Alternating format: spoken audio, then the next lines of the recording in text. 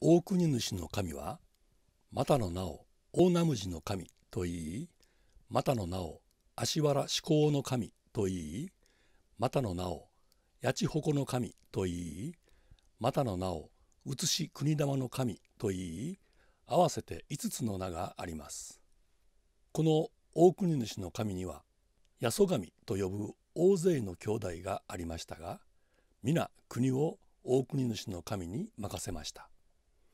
その訳は次のような次第です。その八十神たちはおのおの稲葉の八神姫を妻にしたいと思い皆で稲葉に行った時大ナムジの神に袋を背負わせ友の者として連れて行きました桁の岬に来た時赤裸のうさぎが倒れ伏していましたここで八十神はそのうさぎに「お前のやるべきことはこの海の水を浴び吹く風に当たり山の高いところに伏せていろ」と言いましたうさぎは八十神の教え通りしましたが塩水が乾いていくと身の皮がことごとく風に吹かれて裂かれていきましたその痛みに苦しんで泣き伏していたところに最後にやってきた大ナムジの神が「どうしてお前は泣いているのだ?」と尋ねたらうさぎが答えました「私は沖の島にいてこちらに渡ってきたいと思いましたがその手立てがありませんでした。そこで海にいるサメを騙して言いました。私とお前とではどちらの仲間が多いか数えて比べてみよう。お前は仲間を集めてこの島から桁の岬までみんなを並べるのだ。私はその上を踏んで走りながら数えて渡ろう。そうすればどちらの仲間が多いかわかるだろうと言ったらサメは騙されて並びました。私はその上を踏んで数えながら渡り今まさにこの地に飛び降りようとした時お前たちは私に騙されたのだと言い終わるや否や最後に並んだサメが私を捕まえてこの身を剥いでしまいました。そういうわけで泣き悲しんでいたらさっき通った八十神が海の水を浴び風に当たって伏せていろと言いました。私は教え通りにしましたがこの通り傷ついた体になってしまいました。それを聞き大ナムジの神は今すぐ川まで行って真水で体を洗いそこにあるガマの花を取って敷き並べそこに寝転がっていればお前の体は元通りに必ず治るだろうと言いました。教えの通りしたら体は元通りに治りました。これが稲葉の白うさぎで今はうさぎ神と言います。そのうさぎが大ナムジの神に言いました。あの八十神は必ず八神姫を手に入れることはできないでしょう袋を担ぎ卑しい身なりをしていますがあなたが手に入れることでしょう案の定皆で八神姫のところに行き結婚を申し入れたら八神姫は八十神に答えて「私はあなた方の言うことは聞きません。大ナムジの神に嫁ぎます」と言いました。すると八十神は怒って大ナムジの神を殺そうとみんなで計り母木の国の手間の山の麓まで来て赤いイノシシがこの山にいる。俺たちが追い立てるからお前は下で待って捕まえろ。捕まえなかったら必ずお前を殺すぞと言ってイノシシに似た大きな石を火で焼いて転がし落としました。大ナムジの神がそれを捕らえようとしたらその焼け石に焼かれて死んでしまいました。その母の御事は泣き悲しんで天に参り登って神ムスヒの御事に訴えたらキサガイ姫とウムキ姫を使わして治療させ生き返らせました。キサガイ姫が赤貝の貝殻を削った粉をウムキ姫がハマグリの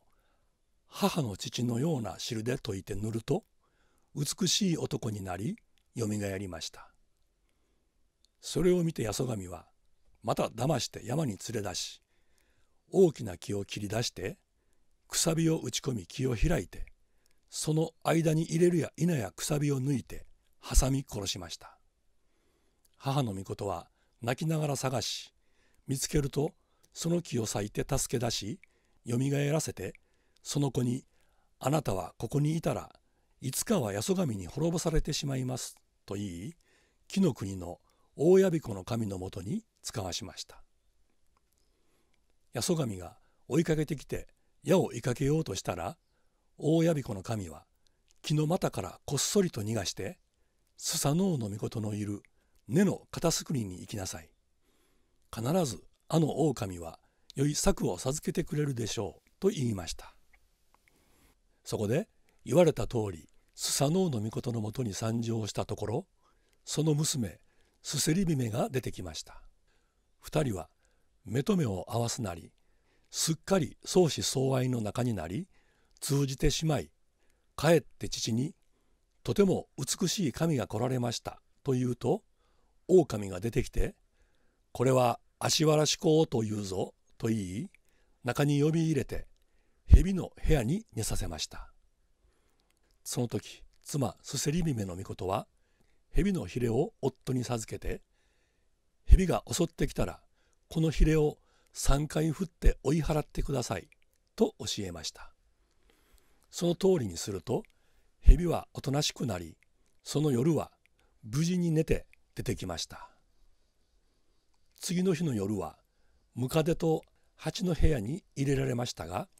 またムカデのヒレを授け同じように教えました。するとまた無事に出てきました。今度はかぶら屋を大きな野原に放ってそれを取ってくるよう命じました。その野に入ると火を放って焼きました。出口が見つからないでいたらネズミがやってきて中はほらほら外はすぶすぶと言いました。そこで地面を踏みつけたらほら穴が開いて下に落ちその穴に身を隠していたら火は焼けすぎていきました。そこへ先のネズミがかぶら屋をくわえて持ってきて渡しました。ただしその矢羽はネズミの子が皆食べてしまっていました。父の狼と妻はすでに死んだものと思いすせり姫は弔いの道具を携えて泣きながらその野原にやってきましたが大ナムジが無事に矢を持ち帰って渡したら家に連れ帰り大広間に呼び入れて頭のしらみを取れと命じました。その頭を見るとムカデがたくさんいました。妻のすせり姫は無垢の木の実と赤土を夫に授けました。大ナムジは木の実を音を立てて食い破り赤土を口に含んで唾として吐き出したら狼はムカデを食い破っていると錯覚しなかなか愛おしいやつだと思って眠り込んでしまいました。そこでその髪の毛を館のたるきに結びつけ大きな岩で部屋の扉を塞いで妻せり姫を背負い狼の神聖な太刀と弓や神聖な楽器のことを持ち出して逃げようとしたらそのことが立ち木に触れて大地が鳴り響きました。寝ていた狼はそれを聞き驚いて起き上がったらその館が引き倒されてしまいました。たるきに結びつけられた髪の毛を外そうとしている間に遠くまで逃げ去りました。スサノオの狼はよもつ平坂まで追ってきてはるか遠くから大ナムジの神を呼んで今持っているその太刀と弓矢でお前の腹違いの兄弟どもを坂の下まで追い返し川の背まで追い払うのだ。今からは大国主の神また写し国玉の神と名乗り私の娘すせり姫を制裁として羽化の山の麓で硬い岩に太い柱を立て天まで届く大屋根をかけた立派な宮を作るのだ。こいつめ」と言いました。言われた通りその太刀と弓矢で八十神どもを坂の下ごとに追い返し川の瀬ごとに追い払ってここに初めて国を作りました。あの八神姫とは前に約束した通り結婚して出雲に連れてきましたが八神姫は正妻のすせり姫を恐れて生まれた子を木の股に差し挟んで稲葉に帰ってしまいましたそこでその子を名付けて木の股の神と言い股の名をミーの神と言いますさて皆さん大国主の神には「カム語り」と呼ばれる歌物語がありますがその中にいささか滑稽なこんなお話があります。八千穂の神すなわち大国主の神が越の国の布川姫を妻に迎えようと訪ねて行った時のことです。その布川姫の家についてこんな歌を歌いました。八千穂の神の御事は八島国妻巻きかねてとうとうし越の国に逆しめをありと聞かして詳しめをありと聞こしてさよばいにありたたしよばいにあり通わせ立ちがおもいまだ解かずてお水いおもいまだ解かねば乙女のなすやいたどうおそぶらひ我が立たせれば彦ずらひ我が立たせれば青山にぬえは泣きぬさのつ鳥兆しはとよむ。庭つ鳥かけはなく。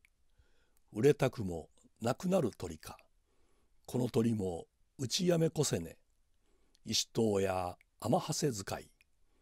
ことの語りごとも工場。その意味は私八千穂の神の御事は八島の国に妻めとられず。はるか遠くの越の国。賢い女があると聞いて美しい女がいると聞いてさあ妻取りだと出立し妻取りに通っていって太刀の作業もまだ解かないうちに旅の衣もまだ脱がないうちに乙女の寝ている家の板戸を何度も押してる私がいるのに何度も引いてる私がいるのに山で寂しくぬえが鳴き野原で生地の叫び声庭で鶏夜明けを告げた。腹立たしくも泣きわめくこの鳥たちを打ちやめさせようか。いまいましくも空を駆けゆく鳥たちめ。事の次第はこうでした。これに応えて布川姫は戸は開けず家の中から歌いました。八千穂の神の御事ぬえ草の目にしあれば我が心浦すの鳥ぞ。今こそは和鳥にあらめ後は名鳥にあらんを。命はなしせたまいそ。石塔や天はせ使いことの語りごとも工場。青山に火がかくらば沼玉の夜はいでなん朝日の恵み栄えきてくずのの白きただむき淡雪の若やる胸を。育たき叩きまながり。またまで玉で差し巻き。桃長に岩なさんを。あやにな恋きこし。八千穂の神の御事。ことの語りごとも工場。その意味は八千穂の神の御事様あちらになびきこちらになびく頼りない草のような女ですので私の心はあちらに行きこちらに行く渚の鳥です。今は自由に振る舞う鳥でいさせて後にはあなたの自由になる鳥です。だから命は殺さないで空を駆けゆく鳥たちを。事の次第はこうでした。青山に火が隠れたら真っ暗な夜更けに来てください。私は朝日のように微笑んでこの真っ白のカイナと淡雪のような若々しい胸をあなたに抱かれて手と手を枕に差し交わしいつまでも寝ていましょう。ですからそんなに恋焦がれないで八千穂の神の御事様。事の次第はこうでした。こうしてやんわりと断られその夜はそのまま会わずあくる日の夜結ばれました。他にも「カム語」と呼ばれる歌物語はありますがそれは省かせていただきます。大国主の神が宗像の沖津宮にいる焚きり姫の御事をめとって産んだ子が味付き高彦根の神また他に子として琴白主の神と鳥成美の神がいます。この後次々と子孫が続きますがこの段の最後が東津山崎たらしの神でした。スサノオノミコトが櫛灘姫と生んだ八島地の神から